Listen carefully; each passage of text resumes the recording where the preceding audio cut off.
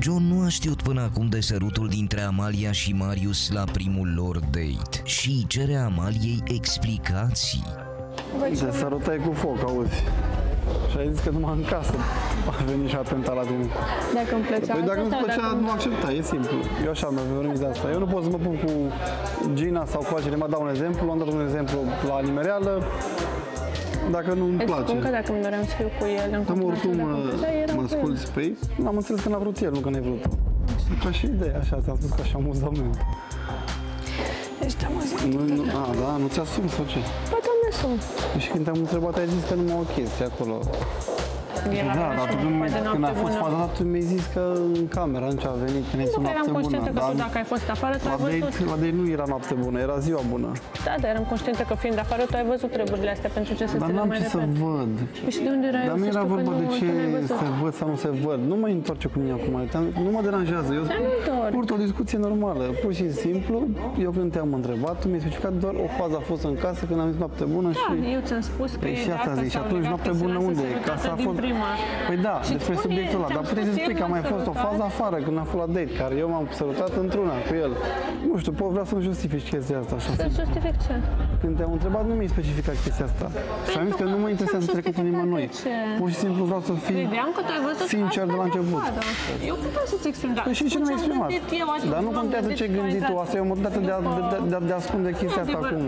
Dar n-aș avea ce să ascund, pentru că... Bine, Amalia, hai, las, nu mai contează, e trecut, da, e filmată. Sper să fie ultima dată când, dacă o să mai am vreo discuție care mi se pare ceva contradictoriu, o să fie probleme, să zic așa.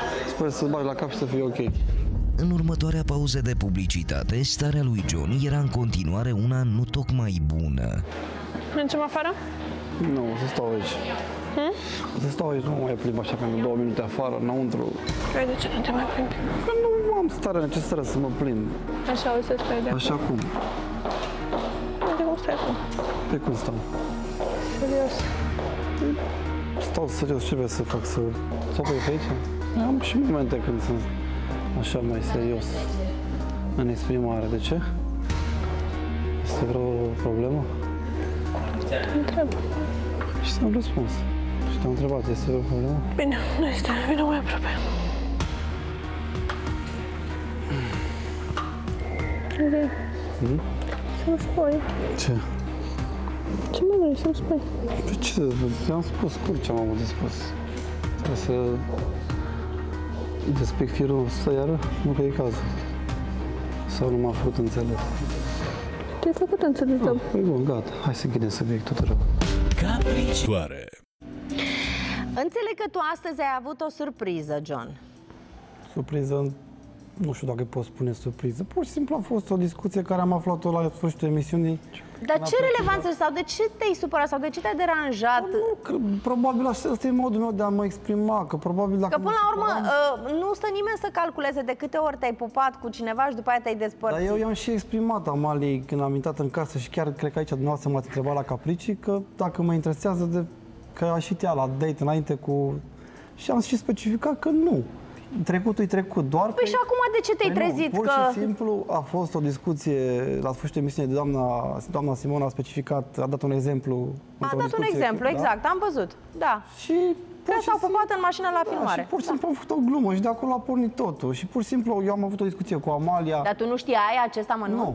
Pur și simplu eu când am avut o discuție, când am început să o cunosc pe Amalia, mi-a zis că, într-adevăr, după discuția de la Caprici care am fost întrebat de dumneavoastră atunci, de către dumneavoastră, mi-a spus pe canapea, în, în bucătărie la noi, că ea a avut doar o chestie cu Marius, că în bucătărie sau în cameră, când s-a dus fata, când a intrat în, cam, în casă la ei, și Marius a sărit cum ar veni la gura ei, atâta tot. Și asta i-am specificat. Că mie nu-mi place minciuna și ascunzișurile. Nu mă interesează ce a trăit ea în trecut înainte să intru eu în casă. Consider că te-a mințit sau... Nu cred că e chiar o minciună, doar că... Ea mi s-a zice că părut- s-a gândit că poate ai Mi s-a știut. părut că n-a vrut probabil să-mi spună Nu, totul. asta era... Asta era... Adică eu îi spusesem lui de sărutul sau pupicul din, din seara respectivă. Dar ce a fost pentru sărut că- sau pupic, ca să A fost înțelegi? pupic. Ok.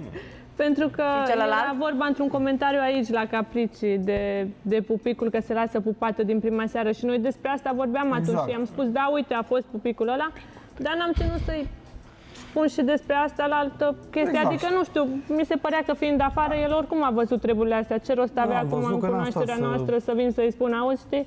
Ne-am pupat de două ori, de fapt, sau ne-am sărutat. Da, și mai pe scurt am vrut să precizez că pe viitor, chiar dacă a fost subiectul care a fost, pe viitor eu nu o să tolerez astfel de... Adică nu că am Păi ce fost- pe viitor, crezi că ea o să vină și o să zică, știi, m-am pupat cu Nu, nu, nu, lui n-ați înțeles. Mă refer Vasile sau eu strict cu la Costel? general. Pur și simplu eu nu o să tolerez minciuna, atâta timp cât respectul Păi da, meu- da, acum știi cum e, că p- poate că nu e minciună, poate e minciună, doar sau nici măcar uh, faptul că au ascunde. omis. Eu am spus că pe viitor, indiferent cum consideră un om că minte, că ascunde, pe eu nu o să tolerez chestiile astea. Da, dar Adică să fi fie sigur corect. de asta, fi sigur 100% că sunt lucruri din trecutul ei pe care tu nu le știi. Dar nici și din trecutul cum, meu care nu asta le spun, știe. cum și ea poate să... Corect, dar asta nu am și specificat. Nu mă interesează trecutul, toți avem un bagaj. Am spus că de acum încolo am făcut o mică parteză cu atenționare, nu cu reproș, nu cu amenințare, pur și simplu să-i spun cum sunt eu ca om. A, deci tu de fapt vrei așa, ca în momentul în care o întrebi ceva, ea Nu, să-ți dacă spună vrea- tot până la nu, cap. Dacă vrem nu, nu, ceva nu, nu. serios, pur și simplu să fie cărțile pe față. Nu, nu, nu, stai puțin, că acum doar nu se apucă și să zică stai așa să-ți povestesc. De ce nu ți-am povestit? De Vasile. Păi Vasile, care a făcut și adresa, că poate nu Da, ți nu, minte. n-am, uh, Dar dacă tu o întrebi într-o zi, eu cred că de fapt tu asta vrei. Tu într-o zi o întrebi, ai avut o relație cu Vasile? Și ea să zică da. Și am avut o relație, dar a fost așa și să-ți povestească tot de a fi rapăr. credeți-mă că dacă vreau asta o întrebam. Chiar Păi nu, am- dar dacă ar fi să o întreb ceva, asta zic, dacă ar fi să o întreb ceva, ea să spună tot adevărul, nu doar jumătate de adevăr. bine. Da, ținând cont de trecut, ca să închidem subiectul, nu mă interesează. Am spus, începând din momentul care am început să ne cunoaștem și să avem o relație, care o vom continua afară și va fi tot ok, am specificat ce aștept eu de la un om. În cazul Bun. ăsta, de la ea. Deci, când te întreabă de Vasile, scoți dosarul cu Vasile și îi spui ce și cum. Vasile este un personaj fictiv, ca să ne înțelegem, da? Ia să auzim, fetelor. Din nou, mi se pare un, o tonalitate care nu se cuvine, mai da, ales este la a început. mea, îmi pare rău. Da, dar a Dar fost poți o- să Scuză-mă. Știu că este a ta, e evident că este a ta, doar nu este a mea sau a lui Petrică sau uh, a cuiva, că doar tu ai vorbit. Asta în primul rând. Pot să uh, spun și eu ceva, rog. nu trebuie să sari uh, în sus. Este părerea mea, așa cum uh, ai specificat uh, ieri. Așa. Uh, consider că te comporți foarte urât cu Amalia. Sunt lucruri care pot fi discutate în cuplu cu drag.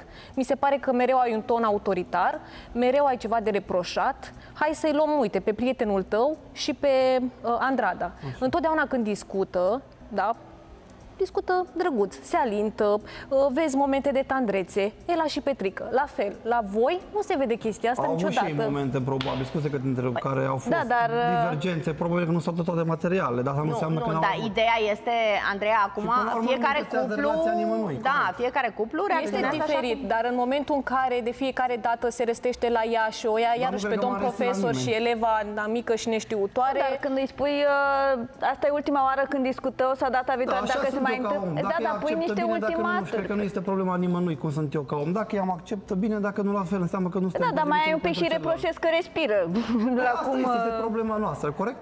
Și atunci Da, dar nu, mă bag în viața dar nu se nimănui vede și- frumos și față de ea. Până la urmă e- este o femeie care trebuie Da, respectată ok. și poți Dar aș să-i vrea să exprimi dea și punctul de materialele vedere. în care suntem, să zic așa, unul ok cu celălalt. Chiar aș Și vrea. atunci tot încerci să o faci pe profesorul și încerc. să încerci să o Nu fac educi pe pe ea. profesor. Bun, Ăsta sunt ideea eu. este că, să știți că telespectatorii oricum văd ce se întâmplă pe Antena Exact. Play. Se vede. 24 de ore din 24, că Exact, nimic nu corect. se cenzurează. Și apropo de asta, ce spun Da. telespectatorii? El vorbește în numele ei, e tipul asupritor. Doar spune că îi ascultă părerea ei, dar tot el are ultimul cuvânt. Ea, prea docilă. Ce zice el, e literă de lege. E o relație creată momentan pe considerentul înălțimii și aspectului fizic. Se potrivesc, sunt foarte frumoși. El prea deștept, se crede el, știe tot, ea să tacă mereu. John este genul de bărbat care taie aripile unei femei. Orice lucru frumos pe care Amalia îl spune este analizat și întors pe toate părțile. Dragostea se trăiește și se simte, nu se explică. Nu-mi place de ăsta, vorbește numai el. Amalia abia reușește să zică fraza, e obositor, Doamne ferește, e prea mare pentru ea, dita mai. Sunteți perfecți, vă stă bine împreună. Ăsta e avocatul Amaliei, nu poate și ea să-și exprime opinia că se bagă el. Un cuplu frumos, să fiți fericiți. Un cuplu frumos, cu toate că John e mai rezervat. Eu cred că în spatele lui se ascunde un om cu suflet și a demonstrat și de multe ori, chiar spune lucruri pe nume. Să se căsătorească, sunt perfecți împreună. Noi mulțumim frumos. Bun,